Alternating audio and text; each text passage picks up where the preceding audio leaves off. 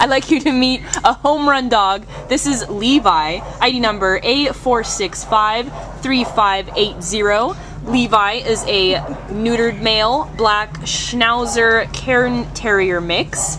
Uh, we think he's about two years old. He came to the Baldwin Park Animal Care Center as a stray from El Monte on November 16th. He weighs about 13 and a half pounds. God, look at that face. I'm, I'm in love. Um, and he's just a, he's a perfect home run dog. Um, he gets along well with his kennel mate and all the other dogs his size. He walks spectacularly on leash. As you can see, he searches out people to kiss.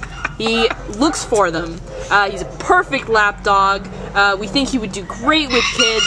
His tail is always wagging. He's clearly eager to please, and uh, I, I, I, don't think we can keep him from kissing people. I mean, that seems to be his favorite thing to do here. Yeah. Um, we think he would do great in a household with kids, you know, family, anybody. He is he's a perfect plug and play dog.